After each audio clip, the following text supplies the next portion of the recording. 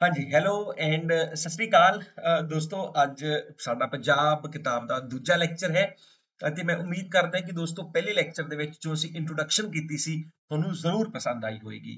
ਤਾਂ ਦੋਸਤੋ, ਅੱਜ ਅਸੀਂ ਇਸ ਦੇ ਪਹਿਲੇ ਚੈਪਟਰ ਦੀ ਤਰਫ ਵਧਾਂਗੇ ਬਿਨਾਂ ਕੋਈ ਵਕਤ ਗਵਾਏ ਹੋਏ, ਜਿਸ ਦੇ ਵਿੱਚ ਅਸੀਂ ਸੂਬੇ ਬਾਰੇ ਜੋ ਹੈ ਬੇਸਿਕ ਜੋ ਪ੍ਰੋਫਾਈਲ ਬੇਸਿਕ ਜੋ ਜਾਣਕਾਰੀਆਂ ਹੈ, ਉਸ ਬਾਰੇ ਚ, ਉਸ ਬਾਰੇ ਚਰਚਾ ਕਰਾਂਗੇ ਅਤੇ ਦੋਸਤੋ, ਇਹ ਜੋ ਬੇਸਿਕ ਪ੍ਰੋਫਾਈਲ ਹੈ, ਅਸੀਂ ਦੋ ਲੈਕਚਰਸ ਦੇ ਵਿੱਚ ਕੰਪਲੀਟ ਕਰਾਂਗੇ। ਤਾਂ ਦੋਸਤੋ ਵੈਸੇ ਤਾਂ ਇਹ ਜੋ ਹੈ ਸਿੱਧੀ ਜਾਣਕਾਰੀ ਹੈ, ਇਸ ਦੇ ਵਿੱਚ ਕੁਝ ਵੀ ਬਹੁਤੀ ਜ਼ਿਆਦਾ ਐਕਸਪਲੇਨੇਸ਼ਨ ਦੀ ਜ਼ਰੂਰਤ ਨਹੀਂ ਹੈ, ਲੇਕਿਨ ਮੇਰੀ ਕੋਸ਼ਿਸ਼ ਰਹੇਗੀ ਕਿ ਤੁਹਾਨੂੰ ਇਸ ਤਰੀਕੇ ਨਾਲ ਦੱਸਿਆ ਜਾਣ ਸਾਰੀਆਂ ਜਾਣਕਾਰੀਆਂ, ਤਾਂ ਕਿ ਤੁਹਾਨੂੰ ਇੱਕ ਵਾਰ ਸੁਣ ਕੇ ਹੀ ਬੜੀਆਂ ਸਾਰੀਆਂ ਜਾਣਕਾਰੀਆਂ ਨਾਲ ਨਾਲ ਯਾਦ ਹੋ ਜਾਣ ਅਤੇ ਤੁਹਾਡੀ ਅੰਡਰਸਟੈਂਡਿੰਗ ਚੰਗੇ ਤਰੀਕੇ ਨਾਲ ਬਣ ਸਕੇ। ਤਾਂ ਦੋਸਤੋ, ਜਿਸ ਪੰਜਾਬ ਦੇ ਵਿੱਚ ਅੱਜ ਅਸੀਂ ਰਹਿੰਦੇ ਹਾਂ ਇਸ ਪੰਜਾਬ ਨੂੰ ਅਸੀਂ ਵੇਖਦੇ ਹਾਂ ਕਿ 1 ਨਵੰਬਰ 1966 ਦੇ ਵਿੱਚ ਜੋ ਹੈ ਬਣਾਇਆ ਗਿਆ ਸੀ। ਦੋਸਤੋ, ਜੋ ਪੰਜਾਬ ਰੀਆਰਗੇਨਾਈਜੇਸ਼ਨ ਐਕਟ ਦੇ ਤਹਿਤ ਜੋ ਹੈ ਹਿੰਦੀ ਸਪੀਕਿੰਗ ਇਲਾਕਾ ਸੀ ਉਸ ਨੂੰ ਬੋਲ ਦਿੱਤਾ ਗਿਆ। ਹਰਿਆਣਾ ਅਤੇ ਪਹਾੜੀ ਇਲਾਕੇ ਨੂੰ ਜੋ ਹੈ ਹਿਮਾਚਲ ਨਾਮਕ ਇੱਕ ਯੂਟੀ ਬਣਾ ਦਿੱਤਾ ਗਿਆ ਅਤੇ ਦੋਸਤੋ ਸਪੀਕਿੰਗ ਪੰਜਾਬੀ ਸਪੀਕਿੰਗ ਏਰੀਆ ਜੋ ਹੈ 1 ਨਵੰਬਰ 1966 ਨੂੰ ਬਣ ਬਣ ਗਿਆ ਸੀ। ਤਾਂ ਤੁਸੀਂ ਵੇਖੋ ਕਿ ਅਸੀਂ ਪਿਛਲੇ 300 400 ਸਾਲ ਦੇ ਵਿੱਚ ਹੀ ਕਿੰਨੀਆਂ ਸਾਰੀਆਂ ਬਾਉਂਡਰੀਜ਼ ਜੋ ਹੈ ਪੰਜਾਬ ਦੀਆਂ ਵੱਧਦੀਆਂ ਜਾਂ ਘਟਦੀਆਂ ਵੇਖਦੇ ਹਾਂ। ਦੋਸਤੋ, ਜਿਵੇਂ ਕਿ ਅਸੀਂ ਗੱਲ ਕਰਦੇ ਹਾਂ ਕਿ ਮਹਾਰਾਜਾ ਜੋ ਰਣਜੀਤ ਸਿੰਘ ਹੈ, ਜਿਸ ਨੇ ਆਪਣਾ ਜੋ ਅੰਪਾਇਰ 1801 ਦੇ ਵਿੱਚ ਸ਼ੁਰੂ ਕੀਤਾ, ਤਾਂ ਦੋਸਤੋ ਲਗਾਤਾਰ ਇਹਨਾਂ ਨੇ ਐਕਸਪੈਂਡ ਕੀਤਾ ਪੰਜਾਬ ਦੀਆਂ ਬਾਉਂਡਰੀਜ਼ ਨੂੰ, ਲਾਹੌਰ ਸੂਬੇ ਨੂੰ, ਤੁਸੀਂ ਕਹਿ ਸਕਦੇ ਹੋ। ਇਸ ਤੋਂ ਇਲਾਵਾ ਜਦੋਂ ਸਤਲੁਜ ਦੀ ਜੋ ਜੋ ਦੋਸਤੋ ਜਦੋਂ ਟ੍ਰੀਟੀ ਆਫ ਅੰਮ੍ਰਿਤਸਰ 1809 ਦੇ ਵਿੱਚ ਹੋਈ, ਤਾਂ ਉੱਥੇ ਜੋ ਹੈ ਪੰਜਾਬ ਦੀਆਂ ਬਾਉਂਡਰੀਜ਼ ਜੋ ਸਾਊਥ ਦੀ ਤਰਫ ਹੈ, ਉਹ ਲਿਮਟਿਡ ਹੋ ਗਈਆਂ। ਮਤਲਬ ਸਤਲੁਜ ਤੋਂ ਅੱਗੇ ਅਸੀਂ ਨਹੀਂ ਜਾ ਸਕਦੇ ਸੀ, ਲੇਕਿਨ ਇਸ ਦੀਆਂ ਬਾਉਂਡਰੀਜ਼ ਜੋ ਹੈ, ਇੱਕ ਪਾਸੇ ਲਦਾਖ ਦੀ ਤਰਫ, ਇੱਕ ਪਾਸੇ ਅਸੀਂ ਵੇਖਦੇ ਹਾਂ ਅਫਗਾਨਿਸਤਾਨ ਤੱਕ ਜੋ ਹੈ, ਇਸ ਦੀਆਂ ਬਾਉਂਡਰੀ ਜੋ ਹੈ ਚਲੀਆਂ ਗਈਆਂ। ਅਤੇ ਫਿਰ ਉਸ ਤੋਂ ਇਲਾਵਾ ਜਦੋਂ 1849 ਤੋਂ ਬਾਅਦ ਕੰਪਨੀ ਨੇ ਦੋਸਤੋ ਪੰਜਾਬ ਨੂੰ ਆਪਣਾ ਇੱਕ ਹਿੱਸਾ ਬਣਾ ਲਿਆ, ਤਾਂ ਉਸ ਤੋਂ ਬਾਅਦ ਜੋ ਹੈ ਦੋਸਤੋ ਕਈ ਸਾਰੀਆਂ ਜੋ ਬਾਉਂਡਰੀਜ਼ ਸਮੇਂ-ਸਮੇਂ ਸਿਰ, ਚਾਹੇ ਉਹ 1911 ਦੇ ਵਿੱਚ ਹੋਵੇ, ਫਿਰ 1947 ਦੇ ਵਿੱਚ ਹੋਵੇ, ਕਾਫੀ ਵਾਰ ਜੋ ਹੈ ਬਦਲੀਆਂ ਗਈਆਂ। ਤਾਂ ਜੋ ਅੱਜ ਦਾ ਪੰਜਾਬ ਹੈ, ਇਹ 1 ਨਵੰਬਰ 1966 ਨੂੰ ਜੋ ਹੈ ਬਣਿਆ ਦੋਸਤੋ, ਇਸ ਕਰਕੇ ਅਸੀਂ ਇਸ ਨੂੰ ਅਸੀਂ ਪੰਜਾਬ ਡੇ ਜੋ ਹੈ ਉਹ ਆਬਜ਼ਰਵ ਜਾਂ ਸੈਲੀਬ੍ਰੇਟ ਕਰਦੇ ਹਾਂ। ਇਸ ਦੀ ਰਾਜਧਾਨੀ ਚੰਡੀਗੜ੍ਹ ਹੈ।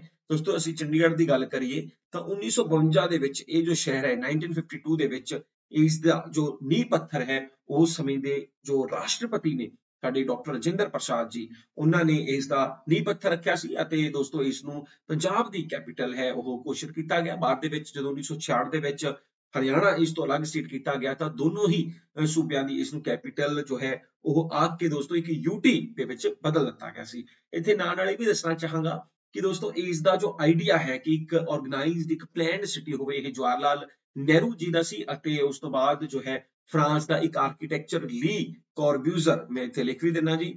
ਲੀ ਕੋਰਬਿਊਜ਼ਰ ਨੂੰ ਬੁਲਾ ਕੇ ਜੋ ਹੈ, ਇਹ ਸ਼ਹਿਰ ਦਾ ਜੋ ਨਿਰਮਾਣ ਹੈ, ਸ਼ਿਵਾਲਿਕ ਦੀਆਂ ਪਹਾੜੀਆਂ ਦੇ ਵਿੱਚ ਜੋ ਹੈ ਉਹ ਕੀਤਾ ਗਿਆ।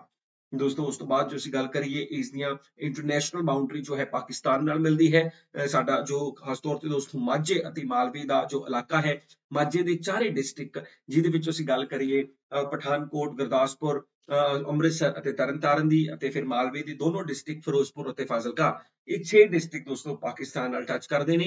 ਇਸ ਤੋਂ ਇਲਾਵਾ ਦੋਸਤੋ ਸਾਡੀਆਂ ਜੋ ਨੈਸ਼ਨਲ ਬਾਉਂਡਰੀਜ਼ ਨੇ, ਕਿਉਂਕਿ ਇਹ ਜੋ ਕਿਤਾਬ ਹੈ ਥੋੜੀ ਪੁਰਾਣੀ ਹੈ, ਇੱਥੇ ਜੰਮੂ ਕਸ਼ਮੀਰ ਵੀ ਲਿਖਿਆ ਦੋਸਤੋ, ਅਸੀਂ ਸੂਬਾ ਵਾਈਜ਼ ਦੇਖੀਏ ਤਾਂ ਜੰਮੂ ਕਸ਼ਮੀਰ ਅੱਜ ਸੂਬਾ ਨਹੀਂ ਰਿਹਾ। ਤਾਂ ਅਸੀਂ ਕਹਿ ਸਕਦੇ ਕਿ ਜੰਮੂ ਕਸ਼ਮੀਰ ਜੋ ਹੈ ਇੱਕ ਯੂਟੀ ਹੈ ਅਤੇ ਸਟੇਟ ਵਾਈਜ਼ ਜੋ ਹੈ, ਸਾਡੇ ਈਸਟ ਦੇ ਵਿੱਚ ਜੋ ਹੈ ਤੁਸੀਂ ਕਹਿ ਸਕਦੇ ਹੋ ਹਿਮਾਚਲ ਪ੍ਰਦੇਸ਼ ਹੈ, ਸਾਡੇ ਜੋ ਹੈ ਸਾਊਥ ਈਸਟ ਦੇ ਵਿੱਚ ਜੋ ਤੁਸੀਂ ਕਹਿ ਸਕਦੇ ਹੋ ਹਰਿਆਣਾ ਹੈ, ਜਾਂ ਫਿਰ ਤੁਸੀਂ ਇਹ ਕਹਿ ਸਕਦੇ ਹੋ ਸਾਡੇ ਸਾਊਥ ਵੈਸਟ ਦੇ ਵਿੱਚ ਜੋ ਹੈ ਉਹ ਰਾਜਸਥਾਨ ਦੀਆਂ ਜੋ ਬਾਉਂਡਰੀ ਟੱਚ ਹੁੰਦੀਆਂ ਨੇ। ਤਾਂ ਜੇ ਅਸੀਂ ਚੰਡੀਗੜ੍ਹ ਨੂੰ ਵੀ ਯੂਟੀ ਬਣਾ ਕੇ ਜੋ ਹੈ ਇੱਕ ਵੱਖਰਾ ਜੋ ਹੈ ਅਲੱਗ ਸਥਾਨ ਦਿੰਨੇ ਆ ਤਾਂ ਅਸੀਂ ਕਹਿ ਸਕਦੇ ਹਾਂ ਕਿ ਤਿੰਨ ਸੂਬੇ ਅਤੇ ਦੋ ਯੂਟੀਜ਼ ਨੇ ਜੋ ਅੱਜ ਪੰਜਾਬ ਨਾਲ ਬਾਉਂਡਰੀ ਟੱਚ ਕਰ ਰਹੀਆਂ ਨੇ।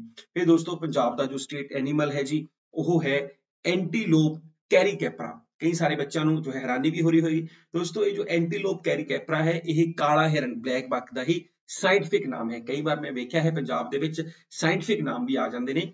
ਤਾਂ ਇਹ ਯਾਦ ਰੱਖਣਾ, ਜਿਵੇਂ ਕਿ ਅਸੀਂ ਸਟੇਟ ਬਰਡ ਬਾਜ਼ ਹੈ ਜੋ ਸਾਡਾ ਗੋਸ਼ਾਕ ਉਸ ਦਾ ਸਾਇੰਟਿਫਿਕ ਜੋ ਨਾਮ ਹੈ, ਉਹ ਐਸੈਪਟਰ ਜੈਂਟਲਿਸ ਹੈ। ਉਸੇ ਤਰੀਕੇ ਨਾਲ ਜੋ ਸਾਡਾ ਦੋਸਤੋ ਇਕੁਐਟਿਕ ਐਨੀਮਲ ਹੈ state dolphin Indus river dolphin ਤਾਂ ਜੋ ਦੋਸਤੋ ਇੰਡਸ ਅੱਜ ਤਾਂ ਪੰਜਾਬ ਦੇ ਵਿੱਚ ਨਹੀਂ ਵਹਿੰਦਾ, ਲੇਕਿਨ ਕਿਸੇ ਸਮੇਂ ਜਦੋਂ ਇਸ ਨੂੰ ਸਪ ਸਿੰਧੂ ਕਹਿੰਦੇ ਸੀ, ਤਾਂ ਪੰਜਾਬ ਜੋ ਹੈ ਇੰਡਸ ਪੰਜਾਬ ਦਾ ਹੀ ਹਿੱਸਾ ਸੀ। ਜਾਂ ਕਹਿ ਲਓ, ਸਪ ਸਿੰਧੂ ਦਾ ਹਿੱਸਾ ਸੀ।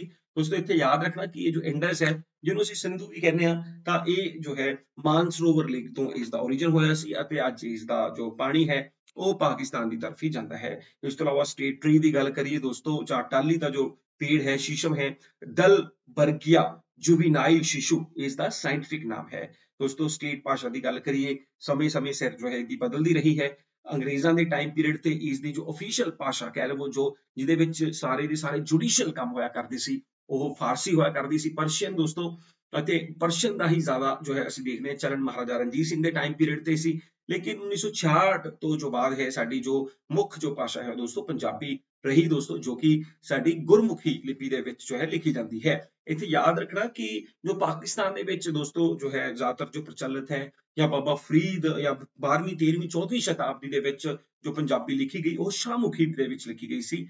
ਲੇਕਿਨ ਫਿਰ ਗੁਰੂ ਅੰਗਦ ਦੇਵ ਜੀ ਨੇ ਜਦੋਂ ਦੋਸਤੋ ਇਨਵੈਂਸ਼ਨ ਕੀਤੀ ਗੁਰਮੁਖੀ ਦੀ, ਤਾਂ ਉਸ ਤੋਂ ਬਾਅਦ ਅਸੀਂ ਵੇਖਦੇ ਹਾਂ ਕਿ ਇਹ ਜੋ ਭਾਸ਼ਾ ਹੈ ਗੁਰਮੁਖੀ, ਜੋ ਗੁਰੂਆਂ ਨੇ ਜੋ ਹੈ ਇਨਵੈਂਟ ਕੀਤਾ ਦੋਸਤੋ, ਉਸੇ ਦੇ ਵਿੱਚ, ਉਹ ਸਕ੍ਰਿਪਟ ਦੇ ਵਿੱਚ ਪੰਜਾਬੀ ਲਿਖੀ ਜਾਂਦੀ ਹੈ ਪੰਜਾਬ ਦੇ ਵਿੱਚ। ਸਾਡਾ ਜੋ ਸੈਕਟਰੀਏਟ ਹੈ ਅਤੇ ਰਾਜਧਾਨੀ ਚੰਡੀਗੜ੍ਹ ਹੈ ਜੀ, ਅਤੇ ਹਰਿਆਣਾ ਕਿਉਂਕਿ ਦੋਸਤੋ ਅਲੱਗ ਸਾਡੇ ਪੰਜਾਬ ਤੋਂ ਹੀ ਅਲੱਗ ਹੋਇਆ ਸੀ, ਤਾਂ ਦੋਨਾਂ ਸਟੇਟਾਂ ਦਾ 1966 ਤੋਂ ਬਾਅਦ ਇੱਕ ਇਕੱਠਾ ਜੋ ਹੈ ਹਾਈ ਕੋਰਟ ਦੋਸਤੋ Punjab and Haryana high court Chandigarh ਦੇ ਵਿੱਚ ਸਥਾਪਿਤ ਕਰ ਲਿਆ। ਇਸ ਦੇ ਸੀ ਪਹਿਲੇ ਗਵਰਨਰ ਦੀ ਗੱਲ ਕਰੀਏ, ਤਾਂ ਦੋਸਤੋ ਚੰਦੂ ਲਾਲ ਮਾਧੋ ਲਾਲ ਤ੍ਰਿਵੇਦੀ ਹੈ। ਇੱਥੇ ਯਾਦ ਰੱਖਣ ਦੀ ਗੱਲ ਹੈ ਕਿ ਦੋਸਤੋ ਜਦੋਂ ਅਸੀਂ ਪਹਿਲੇ ਗਵਰਨਰ ਦੀ ਗੱਲ ਕਰਦੇ ਹਾਂ, ਤਾਂ 1947 ਤੋਂ ਬਾਅਦ ਦਾ ਜੋ ਟਾਈਮ ਪੀਰੀਅਡ ਹੈ, ਉੱਥੋਂ ਅਸੀਂ ਗੱਲ ਕਰ ਰਹੇ ਹਾਂ। ਫਿਰ ਜਦੋਂ ਸਾਡਾ ਦੇਸ਼ ਆਜ਼ਾਦ ਹੋਇਆ, ਤਾਂ ਦੋਸਤੋ ਸਾਡੇ ਪੰਜਾਬ ਦੇ ਵਿੱਚ ਜੋ ਕੁਝ ਰਿਆਸਤਾਂ ਸੀ, ਤਾਂ ਰਿਆਸਤਾਂ ਨੇ ਜੋ ਹੈ ਆਪਣਾ ਇੱਕ ਅਲੱਗ ਸੂਬਾ ਜੋ ਹੈ 1948 ਜੇ ਮੈਂ ਐਗਜ਼ੈਕਟ ਤਰੀਕ ਦੀ ਗੱਲ ਕਰਾਂ, ਤਾਂ 15 ਜੁਲਾਈ 1948 ਨੂੰ ਇਹ ਦੋਸਤੋ ਸਥਾਪਿਤ ਕੀਤਾ, ਜਿਹਨੂੰ ਅਸੀਂ ਪੈਪਸੂ ਦੇ ਨਾਮ ਨਾਲ ਜਾਣਦੇ ਹਾਂ ਤੇ ਤੁਸੀਂ ਵੇਖ ਰਹੇ ਹੋ।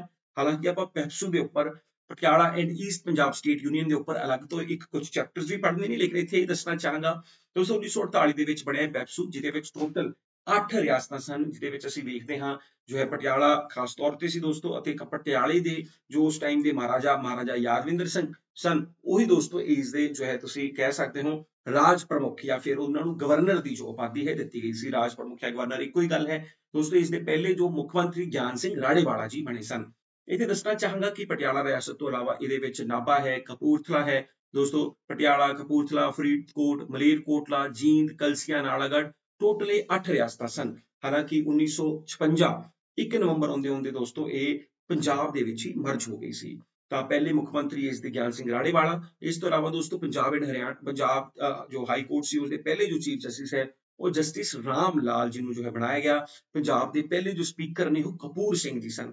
ਜਿਵੇਂ ਦੋਸਤੋ ਅੱਜ ਅਸੀਂ ਗੱਲ ਕਰਦੇ ਹਾਂ, ਜੋ ਕੁਲਤਾਰ ਸਿੰਘ ਸੰਧਵਾ ਨੇ ਅੱਜ ਸਾਡੇ ਜੋ ਹੈ ਉਹ ਸਪੀਕਰ ਨੇ ਜੀ ਸਾਡੀ ਵਿਧਾਨ ਸਭਾ ਦੇ ਉਸ ਤਰੀਕੇ ਨਾਲ ਪਹਿਲੀ ਜੋ ਵਿਧਾਨ ਸਭਾ ਸੀ ਉਸ ਦੇ ਸਪੀਕਰ ਕਪੂਰ ਸਿੰਘ ਜੀ ਸਨ। ਇਸ ਤੋਂ ਇਲਾਵਾ ਪੰਜਾਬ ਦੇ ਵਿੱਚ ਪਹਿਲੀ ਵਾਰ ਦੋਸਤੋ ਲੋਕਪਾਲ ਦੀ ਸਥਾਪਨਾ 1995 ਦੇ ਵਿੱਚ ਕੀਤੀ ਗਈ ਸੀ ਅਤੇ justice S S Sodhi Sahib ਜੋ ਹੈ ਸਾਡੇ ਪਹਿਲੇ ਲੋਕਪਾਲ ਦੇ ਦੇ ਅਹੁਦੇ ਦੇ ਉੱਪਰ ਦੋਸਤੋ ਜੋ ਹੈ ਉਹ ਵਿਰਾਜਮਾਨ ਹੋਏ ਲੋਕਪਾਲ ਦਾ ਮਤਲਬ ਹੈ ਜੋ ਲੋਕਾਂ ਦੀ ਸ਼ਿਕਾਇਤ ਨੂੰ ਸੁਣਨ ਲਈ ਖਾਸ ਤੌਰ ਤੇ ਜੋ ਹੈ ਸਰਕਾਰ ਦੇ ਵਿੱਚ ਬਿਠਾਇਆ ਜਾਂਦਾ ਹੈ। ਦੋਸਤੋ ਉਸ ਤੋਂ ਬਾਅਦ ਅਸੀਂ ਗੱਲ ਕਰਾਂਗੇ ਐਸਜੀਪੀਸੀ ਦੀ। ਸ਼੍ਰੋਮਣੀ ਗੁਰਦੁਆਰਾ ਪ੍ਰਬੰਧਕ ਕਮੇਟੀ ਜਦੋਂ ਅਸੀਂ ਪੜ੍ਹਦੇ ਹਾਂ ਪੰਜਾਬ ਦੇ ਵਿੱਚ, ਇਹ ਜੋ ਸਿੱਖ ਸੁਧਾਰਕ ਮੂਵਮੈਂਟਸ, ਜਿਹਦੇ ਵਿੱਚ ਅਸੀਂ ਨਿਰੰਕਾਰੀ ਮੂਵਮੈਂਟ ਦੀ ਗੱਲ ਕਰਦੇ ਹਾਂ, ਨਾਮਧਾਰੀ ਮੂਵਮੈਂਟ, ਸਿੰਘ ਸਭਾ ਮੂਵਮੈਂਟ, ਤਾਂ ਦੋਸਤੋ ਇੱਕ ਅਹਿਮ ਜੋ ਰੋਲ ਹੈ ਐਸਜੀਪੀਸ ਨੇ ਨਿਭਾਇਆ, ਜੋ ਕਿ 1920 ਦੇ ਵਿੱਚ ਜਿਹਦਾ ਨਿਰਮਾਣ ਹੋਇਆ ਸੀ ਅਤੇ ਇਸ ਨੂੰ ਲੈ ਕੇ ਜੋ ਐਕਟ ਜੋ ਹੈ ਪਾਸ ਕੀਤਾ ਗਿਆ ਦੋਸਤੋ 1925 ਦੇ ਵਿੱਚ, ਤਾਂ ਕਿਹਾ ਜਾਂਦਾ ਕਿ ਉਸ ਤੋਂ ਬਾਅਦ ਜੋ ਹੈ ਇਸ ਨੂੰ ਇੱਕ ਲੀਗਲ ਜੋ ਬਾਡੀ ਹੈ ਅੰਗਰੇਜ਼ਾਂ ਦੁਆਰਾ ਸਵੀਕਾਰ ਕਰ ਲਿਆ ਗਿਆ। ਤਾਂ ਅਸੀਂ ਵੇਖਦੇ ਹਾਂ ਕਿ 1920 ਦੇ ਵਿੱਚ ਜੋ ਹੈ ਸੁੰਦਰ ਸਿੰਘ ਮਜੀਠੀਆ ਇਸ ਦੇ ਪ੍ਰਧਾਨ ਬਣੇ ਅਤੇ 1925 ਦੇ ਵਿੱਚ ਐਕਟ ਤੋਂ ਬਾਅਦ ਜੋ ਹੈ ਬਾਬਾ ਖੜਕ ਸਿੰਘ ਜੋ ਹੈ ਇਸ ਦੇ ਪਹਿਲੇ ਜੋ ਹੈ ਪ੍ਰਧਾਨ ਬਣੇ ਸਨ। ਫਿਲਹਾਲ ਜੋ ਮੁੱਖ ਮੰਤਰੀ ਦੋਸਤੋ, ਜੋ ਹੈ ਸਾਡੇ 17ਵੇਂ ਜੋ ਮੁੱਖ ਮੰਤਰੀ ਨੇ, ਉਹ ਕੈਪਟਨ ਅਮਰਿੰਦਰ ਸਿੰਘ ਜੀ ਨੇ। ਇਹ ਥੋੜਾ ਪੁਰਾਣਾ ਜੋ ਹੈ ਐਡੀਸ਼ਨ ਹੈ ਦੋਸਤੋ, ਇਸ ਕਰਕੇ ਅਮਰਿੰਦਰ ਸਿੰਘ ਲਿਖਿਆ ਹੈ। ਤਾਂ 17ਵੇਂ ਮੁੱਖ ਮੰਤਰੀ ਜੋ ਹੈ ਭਗਵੰਤ ਮਾਨ, ਜਿਨੇ ਆਮ ਆਦਮੀ ਪਾਰਟੀ ਤੋਂ ਬਿਲੋਂਗ ਕਰਦੇ ਨੇ। ਦੋਸਤੋ, ਫਿਲਹਾਲ ਸਾਡੇ ਜੋ ਗਵਰਨਰ ਸਾਹਿਬ ਨੇ ਜੋ ਹੈ ਉਹ ਵੀ ਵੀਪੀ ਸਿੰਘ ਬਦਨੌਰ ਨਹੀਂ ਰਹੇ ਮਤਲਬ ਇਹ ਥੋੜਾ ਪੁਰਾਣਾ ਹੈ ਤਾਂ ਇਸ ਕਰਕੇ ਜੋ ਹੈ ਮੈਂ ਇਸ ਨੂੰ ਜੋ ਹੈ ਇੱਥੇ ਕ੍ਰਾਸ ਜੋ ਹੈ ਕਰ ਸਕਦਾ ਹਾਂ ਤੇ ਦੋਸਤੋ ਜੋ ਨੈਕਸਟ ਜੋ ਅਸੀਂ ਗੱਲ ਕਰੀ ਇਸ ਦੇ ਜੀਓਗ੍ਰਾਫੀਕਲ ਸਟਰਕਚਰ ਦੀ ਤਾਂ ਪੰਜਾਬ ਦਾ ਅੱਜ ਦਾ ਜੋ ਏਰੀਆ ਜੋ ਅਸੀਂ 1 ਨਵੰਬਰ 1966 ਨੂੰ ਬਣਿਆ ਤਾਂ ਅਸੀਂ ਕਹਿ ਸਕਦੇ ਦੋਸਤੋ ਉਸ ਦਾ ਪੂਰਾ ਏਰੀਆ ਹੈ 50362 ਜੋ ਹੈ ਸਕੁਅਰ ਕਿਲੋਮੀਟਰ ਹੈ ਜਿਹਦੇ ਵਿੱਚ ਅਸੀਂ ਦੇਖ ਰਹੇ ਹਾਂ ਦੋਸਤੋ ਪੂਰਾ ਪੰਜਾਬ ਜਿਹਦੇ ਵਿੱਚ ਪੰਜਾਬ ਜੋ ਹੈ ਪੰਜ ਡਿਵੀਜ਼ਨਸ ਦੇ 23 ਡਿਸਟ੍ਰਿਕਟ ਦੇ ਵਿੱਚ ਵੰਡਿਆ ਹੋਇਆ ਹੈ ਅਤੇ ਇਹਦੇ ਵਿੱਚ ਜੋ ਹੈ ਕਾਫੀ ਜ਼ਿਆਦਾ ਜੋ ਇਲਾਕਾ ਹੈ ਰੂਰਲ ਏਰੀਆ ਹੈ ਦੋਸਤੋ 48265 ਕਿਲੋਮੀਟਰ ਸਕੁਅਰ ਲਗਭਗ 96% ਏਰੀਆ ਅਤੇ ਬਹੁਤ ਥੋੜਾ ਜੋ ਇਲਾਕਾ ਹੈ ਉਹ ਅਰਬਨ ਏਰੀਆ ਹੈ 2097 ਕਿਲੋਮੀਟਰ ਦਾ। ਦੋਸਤੋ, ਅਸੀਂ ਪੰਜਾਬ ਦੇ ਲੈਟੀਟਿਊਡ ਜੀਓਗ੍ਰਾਫੀਕਲ ਲੋਕੇਸ਼ਨ ਦੀ ਗੱਲ ਕਰੀਏ ਤਾਂ 29 ਡਿਗਰੀ 30 ਮਿੰਟ ਨਾਰਥ ਤੋਂ ਲੈ ਕੇ 32 ਡਿਗਰੀ 32 ਮਿੰਟ ਨਾਰਥ ਅਤੇ ਲੌਂਗੀਟਿਊਡ 73 ਡਿਗਰੀ 55 ਮਿੰਟ ਈਸਟ ਤੋਂ ਲੈ ਕੇ 76 ਡਿਗਰੀ 50 ਮਿੰਟ ਈਸਟ ਹੈ। ਇਹਨੂੰ ਥੋੜਾ ਯਾਦ ਕਰਨਾ ਪਏਗਾ। ਇਹ ਤੋਂ ਇਲਾਵਾ ਦੋਸਤੋ, ਪੰਜਾਬ ਦਾ ਜੋ ਫੋਰੈਸਟ ਏਰੀਆ ਹੈ, ਬਹੁਤਾ ਜ਼ਿਆਦਾ ਨਹੀਂ ਹੈ। ਲਗਭਗ ਪੌਣੇ 5% 4.84% ਜੋ ਹੈ, ਦੋਸਤੋ, ਇਹ ਕਹਿੰਦੇ ਕਿ 2011 ਦੇ ਸੈਂਸਸ ਦੇ ਮੁਤਾਬਿਕ ਹੈ। ਇੱਥੇ ਐਵਰੇਜ ਰੇਨਫੋਲ 493 mm ਦੇ ਮੁਤਾਬਕ ਜੋ ਹੈ, ਪੈਂਦੀ ਹੈ ਅਤੇ ਦੋਸਤੋ, ਸਾਡਾ ਐਲਟੀਟਿਊਡ ਸਮੁੰਦਰ ਤਲ ਤੋਂ ਜੋ ਉਚਾਈ ਹੈ, ਉਹ 180 ਤੋਂ 300 ਮੀਟਰ ਜੋ ਹੈ, ਲਗਭਗ ਹੈ। ਜਿਵੇਂ ਕਿ ਮੈਂ ਪਿਛਲੀ ਜੋ ਹੈ ਸਲਾਈਡ ਦੇ ਵਿੱਚ ਵੀ ਗੱਲ ਕੀਤੀ ਸੀ, ਦੋਸਤੋ, ਪੰਜ ਡਿਵੀਜ਼ਨਸ ਨੇ। ਡਿਵੀਜ਼ਨ ਦੀ ਜੇ ਅਸੀਂ ਗੱਲ ਕਰੀਏ ਤਾਂ ਇੱਥੇ ਪੰਜ ਡਿਵੀਜ਼ਨਸ ਫਿਰੋਜ਼ਪੁਰ ਡਿਵੀਜ਼ਨ ਹੈ ਦੋਸਤੋ, ਜਲੰਧਰ ਹੈ, ਇਸ ਤੋਂ ਇਲਾਵਾ ਪਟਿਆਲਾ ਹੈ ਫਿਰ ਅਸੀਂ ਗੱਲ ਕਰੀਏ ਦੋਸਤੋ ਸਾਡੀ ਫਿਰੋਜ਼ਪੁਰ, ਜਲੰਧਰ, ਪਟਿਆਲਾ ਅਤੇ ਇੱਥੇ ਬਈ ਮੈਂ ਜੋ ਸਕਿਪ ਕਰ ਰਿਹਾ, ਫਰੀਦਕੋਟ ਅਤੇ 2011 ਦੇ ਵਿੱਚ ਆਖਰੀ ਜੋ ਡਿਵੀਜ਼ਨ ਬਣੀ ਉਹ ਰੋਪੜ ਸੀ। ਦੋਸਤੋ, ਫਿਲਹਾਲ ਜੋ ਹੈ ਇਹ 23 ਡਿਸਟ੍ਰਿਕਟ ਬਣ ਚੁੱਕੇ ਨੇ ਅਤੇ 23ਵਾਂ ਜੋ ਡਿਸਟ੍ਰਿਕਟ ਹੈ ਸਾਡਾ, ਉਹ ਮਈ 2021 ਦੇ ਵਿੱਚ ਕੈਪਟਨ ਅਮਰਿੰਦਰ ਸਿੰਘ ਜੀ ਨੇ ਈਦ ਦੇ ਮੁਬਾਰਕ ਮੌਕੇ ਦੇ ਉੱਪਰ ਜੋ ਹੈ ਸੰਗਰੂਰ ਦੇ ਵਿੱਚੋਂ ਮਲੇਰਕੋਟਲੇ ਨੂੰ ਅਲੱਗ ਕਰ ਦਿੱਤਾ ਗਿਆ ਸੀ। ਤਾਂ ਦੋਸਤੋ, ਜੋ ਨਿਊਲੀ ਡਿਸਟ੍ਰਿਕਟ ਹੈ ਤੇ ਕਹਿ ਸਕਦੇ ਹਾਂ ਕਿ ਜਿਵੇਂ 2012 ਦੇ ਵਿੱਚ ਪਠਾਨਕੋਟ ਅਤੇ ਫਾਜ਼ਿਲਕਾ ਬਣੇ, ਤਾਂ 2021 ਦੇ ਵਿੱਚ ਜੋ ਅਸੀਂ ਕਹਿੰਦੇ ਹਾਂ ਕਿ ਜੋ ਸੰਗਰੂਰ ਦੇ ਵਿੱਚੋਂ ਅਲੱਗ ਹੋ ਕੇ ਮਲੇਰਕੋਟਲਾ ਡਿਸਟ੍ਰਿਕਟ ਬਣਾਇਆ ਗਿਆ।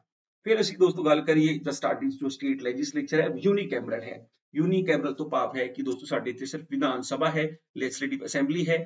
ਸਾਡੇ ਇੱਥੇ ਜੋ ਹੈ ਯੂਪੀ ਬਿਹਾਰ, ਆਂਧਰਾ, ਤੇਲੰਗਾਨਾ ਅਤੇ ਮਹਾਰਾਸ਼ਟਰ, ਕਰਨਾਟਕਾ ਦੀ ਤਰ੍ਹਾਂ ਦੋਸਤੋ ਲੈਜਿਸਲੇਟਿਵ ਕਾਉਂਸਲ ਵਿਧਾਨ ਪਰਿਸ਼ਦ ਨਹੀਂ ਹੈ, ਜੋ 1970 ਦੇ ਵਿੱਚ ਹੀ ਖਤਮ ਕਰ ਦਿੱਤੀ ਗਈ ਸੀ।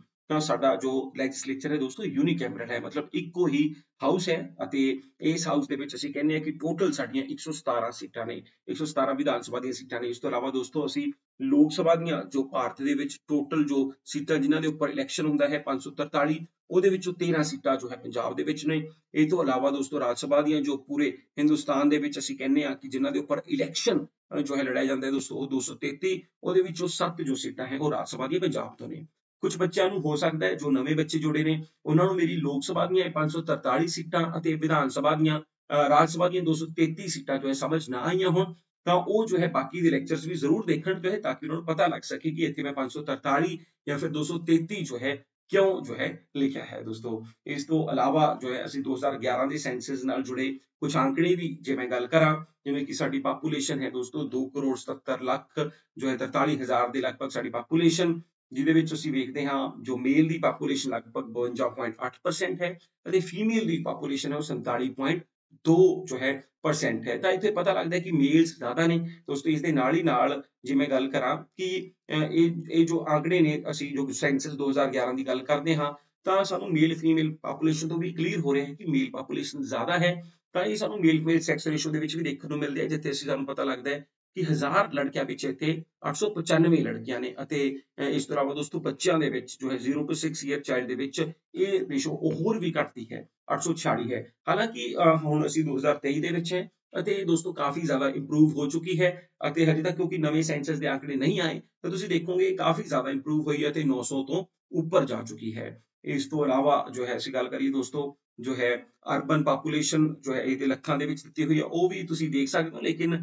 ਡੈਂਸਿਟੀ ਬੜੀ ਮਹੱਤਵਪੂਰਨ ਹੈ, ਜਿੱਥੇ ਅਸੀਂ ਕਹਿੰਦੇ ਹਾਂ ਕਿ ਪਰ ਸਕੁਅਰ ਕਿਲੋਮੀਟਰ ਏਰੀਆ ਦੇ ਵਿੱਚ 551 ਜੋ ਹੈ, ਲੋਕ ਇੱਥੇ ਰਹਿੰਦੇ ਨੇ। ਦੋਸਤੋ, ਜੋ ਹੈ, ਜੇ ਅਸੀਂ ਗੱਲ ਕਰੀਏ ਡਿਸਟ੍ਰਿਕਟ ਵਾਈਜ਼ ਤਾਂ ਲੁਧਿਆਣੇ ਦੀ ਡੈਂਸਿਟੀ ਸਭ ਤੋਂ ਜ਼ਿਆਦਾ ਹੈ, ਮਤਲਬ ਬਹੁਤ ਜ਼ਿਆਦਾ ਜਨਸੰਖਿਆ ਹੈ ਅਤੇ ਮੁਕਤਸਰ ਸਾਹਿਬ ਦੀ ਜੋ ਡੈਂਸਿਟੀ ਹੈ ਦੋਸਤੋ ਪਰ ਸਕੁਅਰ ਕਿਲੋਮੀਟਰ ਏਰੀਆ ਦੇ ਵਿੱਚ ਸਭ ਤੋਂ ਘੱਟ ਲੋਕ ਹੈ। ਮੁਕਤਸਰ ਸਾਹਿਬ ਦੇ ਵਿੱਚ ਰਹਿੰਦੇ ਨੇ। ਪੰਜਾਬ ਦੇ ਜੇ ਅਸੀਂ ਲਿਟਰੇਸੀ ਰੇਟ ਦੀ ਗੱਲ ਕਰੀਏ ਤਾਂ 275.8 ਹੈ। 2011 ਦੇ ਸੈਂਸਸ ਦੇ ਮੁਤਾਬਿਕ ਜਿਹਦੇ ਵਿੱਚੋਂ ਮੇਲ ਜੋ ਹੈ ਫਿਰ ਅਸੀਂ ਦੇਖਦੇ 80.4 ਅਤੇ ਫੀਮੇਲ ਜੋ ਲਿਟਰੇਸੀ ਹੈ ਉਹ 70.7 ਹੈ। ਜੇ ਇੱਥੇ ਮੈਂ ਡਿਸਟ੍ਰਿਕਟ ਵਾਈਜ਼ ਵੀ ਗੱਲ ਕਰਾਂ ਤਾਂ ਸਭ ਤੋਂ ਜ਼ਿਆਦਾ ਸਾਨੂੰ ਦੋਸਤੋ ਜੋ ਮੇਲ ਫੀਮੇਲ ਸੈਕਸ ਰੇਸ਼ੋ ਅਤੇ ਸਭ ਤੋਂ ਜ਼ਿਆਦਾ ਜੋ ਪੜ੍ਹੇ ਲਿਖੇ ਲੋਕ ਹੁਸ਼ਿਆਰਪੁਰ ਦੇ ਵਿੱਚ ਦੇਖਣ ਨੂੰ ਮਿਲਦੇ ਨੇ ਅਤੇ ਸਭ ਤੋਂ ਘੱਟ ਜੋ ਲਿਟਰੇਸੀ ਰੇਟ ਹੈ ਉਹ ਸਾਨੂੰ ਮਾਨਸਾ ਦੇ ਵਿੱਚ ਹੈ, ਦੇਖਣ ਨੂੰ ਮਿਲਦਾ ਹੈ। ਤਾਂ ਇਸ ਤੋਂ ਇਲਾਵਾ ਸਭ ਤੋਂ ਘੱਟ ਜੋ ਹੈ ਮੇਲ ਫੀਮੇਲ ਸੈਕਸ ਰੇਸ਼ੋ ਸਾਨੂੰ ਬਠਿੰਡੇ ਦੇ ਵਿੱਚ ਹੈ ਵੇਖਣ ਨੂੰ ਮਿਲਦੀ ਹੈ। ਇੱਥੇ ਮੈਂ ਫੇਰ ਇੱਕ ਵਾਰ ਦੱਸ ਦਵਾਂ ਕਿ ਮੇਰੇ ਇਹ ਸਾਰੇ ਜੋ ਆંકੜੇ ਨੇ 2011 ਦੇ ਵਿੱਚ ਜੋ ਸੈਂਸਸ ਹੋਇਆ ਸੀ, ਉਸ ਨਾਲ ਜੋ ਹੈ ਉਹ ਜੁੜੇ ਹੋਏ ਨੇ। ਇਸ ਤੋਂ ਇਲਾਵਾ ਦੋਸਤੋ, ਜੋ ਹੈ ਲਾਸਟ ਸਲਾਈਡ ਦੇ ਵਿੱਚੋਂ ਅਸੀਂ ਗੱਲ ਕਰੀਏ, ਸਭ ਤੋਂ ਜ਼ਿਆਦਾ ਜੋ ਪਾਪੂਲੇਟਡ ਡਿਸਟ੍ਰਿਕਟ ਹੈ ਉਹ ਲੁਧਿਆਣਾ ਹੈ ਜੀ। ਸਭ ਤੋਂ ਘੱਟ ਜੋ ਪਾਪੂਲੇਸ਼ਨ ਜੋ ਹੈ ਉਹ ਬਰਨਾਲੇ ਦੇ ਵਿੱਚ ਹੈ। ਸਭ ਤੋਂ ਵੱਡਾ ਜੋ ਡਿਸਟ੍ਰਿਕਟ ਹੈ ਲੁਧਿਆਣਾ ਹੈ। ਦੋਸਤੋ, ਜੇ ਅਸੀਂ ਸਭ ਤੋਂ ਛੋਟੇ ਡਿਸਟ੍ਰਿਕਟ ਦੀ ਗੱਲ ਕਰੀਏ ਤਾਂ ਉਹ ਹੁਣ ਪਠਾਨਕੋਟ ਬਣ ਚੁੱਕਿਆ ਹੈ। ਕਿਉਂਕਿ 2011 ਦੇ ਸੈਂਸਸ ਦੇ ਮੁਤਾਬਕ ਡਿਸਟ੍ਰਿਕਟ ਨਹੀਂ ਸੀ, ਤਾਂ ਹੁਣ ਅਸੀਂ ਸਾਡਾ ਜੋ ਉੱਤਰ ਹੈ, ਪਠਾਨਕੋਟ ਹੋਵੇਗਾ। ਇਸ ਤੋਂ ਇਲਾਵਾ ਸਭ ਤੋਂ ਜ਼ਿਆਦਾ male female sector shows already ਅਸੀਂ ਗੱਲ ਕੀਤੀ ਹੁਸ਼ਿਆਰਪੁਰ, ਸਭ ਤੋਂ ਘੱਟ ਜੋ ਹੈ ਬਠਿੰਡੇ ਦੇ ਵਿੱਚ ਹੈ ਦੋਸਤੋ। ਦੋਸਤੋ, ਜੋ ਬੱਚਿਆਂ ਦੀ ਸੈਕਸ ਰੇਸ਼ੋ ਹੈ, ਉਹ ਸਭ ਤੋਂ ਜ਼ਿਆਦਾ ਜੋ ਹੈ, ਉਹ ਸਾਨੂੰ ਐਸਬੀਐਸ ਨਗਰ, ਮਤਲਬ ਨਵਾਂ ਸ਼ਹਿਰ ਦੇ ਵਿੱਚ ਮਿਲੀ ਅਤੇ ਸਭ ਤੋਂ ਜੋ ਘੱਟ ਹੈ, ਉਹ ਤਰਨਤਾਰਨ ਦੇ ਵਿੱਚ ਸਾਨੂੰ ਦੇਖਣ ਨੂੰ ਮਿਲਿਆ। ਅਸੀਂ ਡੈਂਸਿਟੀ ਦੀ ਗੱਲ ਆਲਰੇਡੀ ਕਰ ਚੁੱਕੇ ਹਾਂ ਲੁਧਿਆਣੇ ਵਿੱਚ ਸਭ ਤੋਂ ਜ਼ਿਆਦਾ ਅਤੇ ਮੁਕਤਸਰ ਸਾਹਿਬ ਦੇ ਵਿੱਚ। ਲੁਧਿਆਣੇ ਵਿੱਚ ਸਭ ਤੋਂ ਜ਼ਿਆਦਾ ਹੈ ਅਤੇ ਮੁਕਤਸਰ ਸਾਹਿਬ ਦੇ ਵਿੱਚ ਸਭ ਤੋਂ ਘੱਟ ਹੈ 348 ਲੋਕ ਹੀ ਪਰ ਸਕੁਅਰ ਕਿਲੋਮੀਟਰ ਏਰੀਆ ਦੇ ਵਿੱਚ ਰਹਿੰਦੇ ਨੇ। ਜਿਸ ਇਲਾਕੇ ਦੇ ਵਿੱਚ ਹੈ ਉਸ ਦਿਨ ਏਰੀਆ ਦੇ ਵਿੱਚ ਲੁਧਿਆਣੇ ਵਿੱਚ 978 ਲੋਕ ਰਹਿੰਦੇ ਹੋਣ। ਇਸ ਤੋਂ ਇਲਾਵਾ ਸ਼ਹਿਰੀਕਰਨ ਹੋਣ ਕਰਕੇ ਦੋਸਤੋ ਮੁਹਾਲੀ ਦੇ ਵਿੱਚ ਜ਼ਿਆਦਾ ਰੋਜ਼ਗਾਰ ਹੈ, ਤਾਂ ਜੋ ਹੈ ਜ਼ਿਆਦਾ ਇੱਥੇ ਜੋ ਹੈ ਗਰੋਥ ਰੇਟ ਜ਼ਿਆਦਾ ਹੋਈ 2001 ਤੋਂ 2011 ਦੇ ਵਿੱਚ। ਹੁਣ ਵੀ ਜੋ ਹੈ ਜਦੋਂ ਮੈਂ ਇਹ ਵੀਡੀਓ ਬਣਾ ਰਿਹਾ ਹਾਂ, ਤਾਂ ਮੁਹਾਲੀ ਦੇ ਵਿੱਚ ਬੈਠ ਕੇ ਬਣਾ ਰਿਹਾ ਦੋਸਤੋ ਮੈਂ ਵੀ ਬਠਿੰਡੇ ਤੋਂ ਬਿਲੋਂਗ ਕਰਨਾ ਅਤੇ ਜੋ ਹੈ ਸਿਲਸਿਲੇ ਦੇ ਵਿੱਚ ਰੋਜ਼ਗਾਰ ਦੇ ਤੁਸੀਂ ਕਹਿ ਲਵੋ ਜਾਂ ਪੜਾਉਣ ਦੇ ਦੋਸਤੋ ਇੱਕ ਜੋ ਹੈ ਸਿਲਸਿਲਾ ਰੱਬ ਬਣਾ ਦਿੰਦਾ ਹੈ, ਤਾਂ ਮੈਂ ਵੀ ਮੁਹਾਲੀ ਚੰਡੀਗੜ੍ਹ ਆਇਆ ਸੀ ਅਤੇ ਇੱਥੇ ਬਹੁਤ ਸਾਰੇ ਲੋਕ ਹੁੰਦੇ ਨੇ ਇਸ ਕਰਕੇ ਇਹਦੀ ਜੋ ਗਰੋਥ ਰੇਟ ਹੈ ਸਾਨੂੰ ਜ਼ਿਆਦਾ ਦੇਖਣ ਨੂੰ ਮਿਲਦੀ ਹੈ। ਮਿਨੀਮਮ ਜੋ ਗਰੋਥ ਰੇਟ ਅਸੀਂ ਦੇਖਦੇ ਨਵਾਂ ਸ਼ਹਿਰ ਦੀ ਹੈ, ਸਭ ਤੋਂ ਜ਼ਿਆਦਾ ਲਿਟਰੇਸੀ ਜੋ ਹੈ ਹੁਸ਼ਿਆਰਪੁਰ ਅਤੇ ਸਭ ਤੋਂ ਘੱਟ ਜੋ ਮਾਨਸਾ ਦੇ ਵਿੱਚ ਹੈ ਜੀ। ਅਤੇ ਅਸੀਂ ਮੈਕਸਿਮਮ ਲਿਟਰੇਸੀ ਫੀਮੇਲ ਦੇ ਵਿੱਚ ਵੀ ਹੁਸ਼ਿਆਰਪੁਰ ਹੈ ਅਤੇ ਮਿਨੀਮਮ ਲਿਟਰੇਸੀ ਦੋਸਤੋ ਫੀਮੇਲ ਦੇ ਵਿੱਚ ਉਹ ਮਾਨਸਾ ਦੇਖਦੇ ਹਾਂ। ਅਤੇ ਇੱਥੇ ਇੱਕੋ ਇੱਕ ਤਹਿਸੀਲ ਹੈ ਪੰਜਾਬ ਦੇ ਵਿੱਚ, ਜਿੱਥੇ ਸਾਰੀ ਜੋ ਪਾਪੂਲੇਸ਼ਨ ਹੈ, ਪਿੰਡੂ ਪਾਪੂਲੇਸ਼ਨ ਹੈ ਕੋਈ ਵੀ ਜੋ ਹੈ ਅਰਬਨ ਪਾਪੂਲੇਸ਼ਨ ਦੋਸਤੋ, ਖਡੂਰ ਸਾਹਿਬ ਹੈ। ਤਾਂ ਦੋਸਤੋ ਇਸ ਜੋ ਹੈ ਲੈਕਚਰ 1 ਦੇ ਵਿੱਚ ਅਸੀਂ ਅੱਜ ਪੜਿਆ ਬੇਸਿਕ ਇਨਫੋਰਮੇਸ਼ਨ ਹਾਲਾਂਕਿ ਬੇਸਿਕ ਇਨਫੋਰਮੇਸ਼ਨ ਹੋਰ ਵੀ ਕਾਫੀ ਜ਼ਿਆਦਾ ਹੈ ਕਿਉਂਕਿ ਮੈਂ ਇਸ ਦੇ ਅਗਲੇ ਹਿੱਸੇ ਮਤਲਬ ਪੰਜਾਬ ਸਾਡਾ ਪੰਜਾਬ ਕਿਤਾਬ ਦੇ ਤੀਜੇ ਲੈਕਚਰ ਦੇ ਵਿੱਚ ਪੂਰਾ ਕਰਾਂਗਾ ਬਹੁਤ ਬਹੁਤ ਧੰਨਵਾਦ ਥੈਂਕ ਯੂ ਸੋ ਮਚ